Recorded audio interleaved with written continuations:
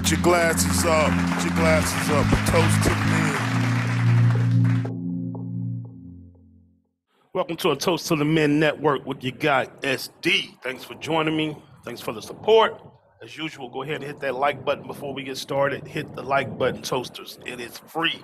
Hit the subscribe button if you're not subscribed. Also, hit the notification bell so you're notified when this content drops. Toasters, I've been checking out this interview with Billy Garland. Billy Garland, he's uh he's done an interview on Art of Dialogue channel on YouTube, and it's been interesting. Now, for y- those who don't know, Billy Garland is Tupac Shakur's biological father. Yes, Tupac Shakur's biological father, and he's telling his story. He's telling his story in relation to uh, his history and in relation to uh, his connection to Tupac, his son's life, uh, his son's childhood, uh, what happened in childhood, what happened with the disconnect from his son, and when they reestablished the relationship, how that went down. You know, I found this interview quite interesting. It was very good, man. It's very good. Great job. And um, I don't believe I've ever heard Billy Garland, uh, Mr. Billy Garland, ever speak or conduct an interview.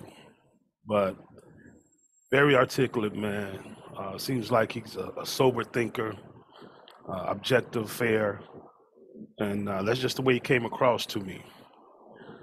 But this is interesting because if you know anything about Tupac's uh, music, if you're a fan or a supporter, you know Tupac often would speak about or rap about the absence of his father, how his father wasn't there, and how when his father died, he couldn't cry because his father was never there.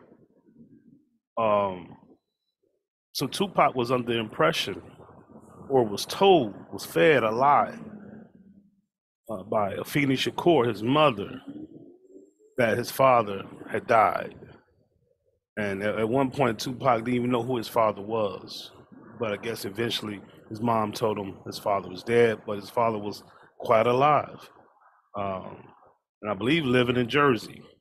That's what he said. He was living in Jersey. So this was interesting. It was interesting. And, um, you know, according to Mr. Billy Garland, he would have visits with Tupac when Tupac was a child, up until about four years old, I think. And then there was a disconnect. There was a break in communication. And he no longer will see Tupac, no longer knew how to get in contact with him or his mother. And um, he didn't see him again until Tupac got shot in that studio in New York. And um, Mr. Billy Garland had heard about it, and he went to the hospital. And Tupac reveals this account from his perspective. He, he even said he woke up and he looked at somebody that looked like he was looking at himself, and that was his father. And you know, if you ever see Mr. Billy Garland, you could del- definitely see the resemblance. Definitely. Um, but this has layers to it. You know, this has many layers to it because I see people in the comments saying, "What took so long uh, for him to get back into Tupac's life?" Well, there's a lot to that. You got to understand, this is the '70s. You know, um, early '70s, mid '70s. There was no internet. You know, it was difficult to track down someone. It's even more difficult to track down someone who does not want to be found. And as we know, Mrs. Miss uh, Afeni Shakur was followed by the FBI, probably her uh, entire uh, adulthood life, uh, ever since she was connected to the Black Panther Party. Um, so she was always on the run, always moving. And this is according to Tupac's account also. They were always moving, always on the run. And then also Afeni, you know, got uh got addicted to drugs, to crack cocaine. And so um, dealing with someone who doesn't want to be found, right? Probably dealing with someone that's very paranoid, and then you're dealing with someone who's addicted to drugs. And then you're dealing with the 1970s, no internet. So there's a lot of, you know, roadblocks there, a lot of hurdles. So it's not as easy as you would think it is today to find someone. But someone can go underground even today if they wanted to. Um, yeah, just just stay off of social media and, and do a few other things. You can go underground even today. So just imagine back in the '70s and and and um, with, with all those other things that came into play with Miss Afeni Shakur. But Mr. Billy Garland also said he was dealing with his own problems also.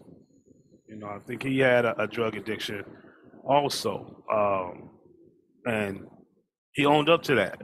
He said he wasn't very responsible back then as well. And he probably could have done more. And so uh, he stood up on that. But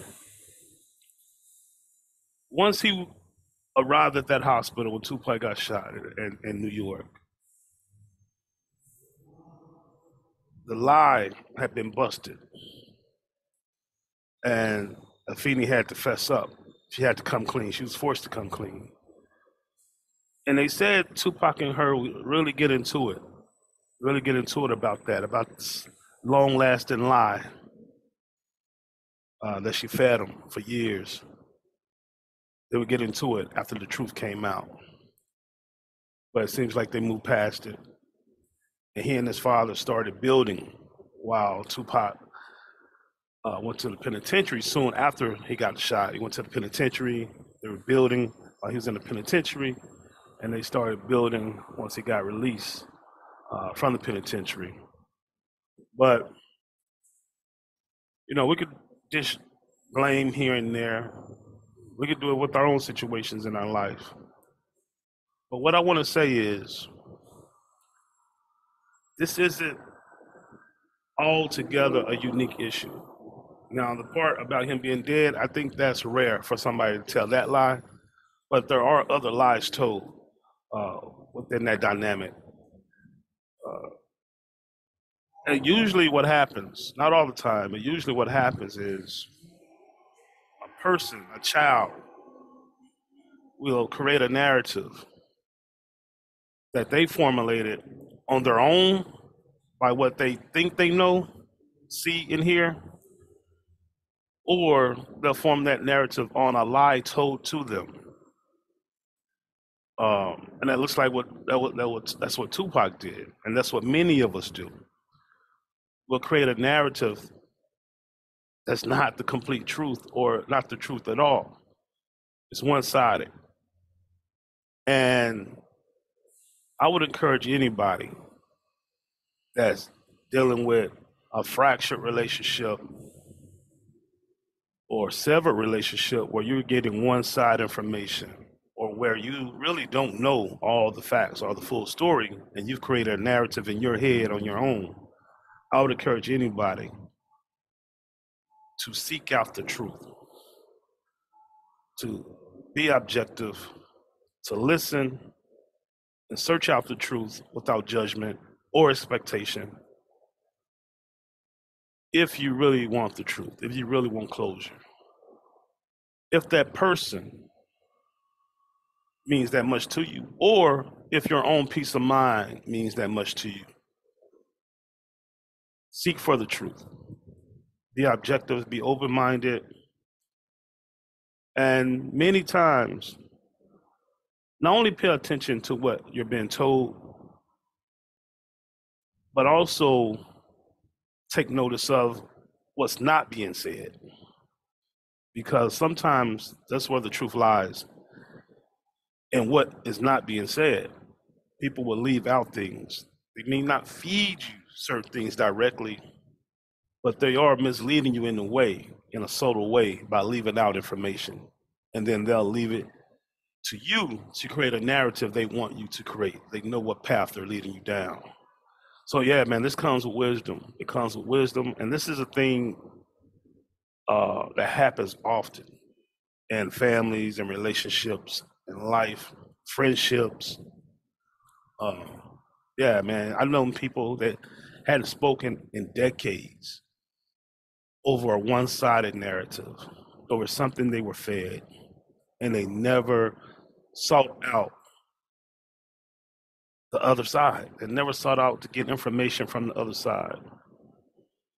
And so, you know, this this calls for a level, this demands a level of emotional intelligence, a level of wisdom to be able to pull your emotions back, have no expectation of the outcome, and just seek out the truth. Just seek out the truth. The truth will set you free. You know, I can't imagine how freer Tupac must have felt when the truth came out. You know, and maybe even Afeni felt some freedom because this is a lie that she had to hold on to. You know, that, that's that's pretty wild to say the father's dead. You know, um, she didn't say he didn't want to be a part of his life. He just said he's dead. Yeah, that's on a whole different level. So, you know, that lie can bound you, can shackle you. So I'm sure she felt some level of freedom and peace of mind in that. And maybe that strengthened the relationship also between uh, she and Tupac. But um, yeah, Toasters, I just want to encourage you, man, always seek out the truth. Always, man. No matter how tough, how uncomfortable it may be, listen to everything and then you decide through wisdom and discernment what's real and what's not real um, and then move forward accordingly. Yeah i just wanted to share that with y'all toasters let me know what you think in the comments. As always from me to you love peace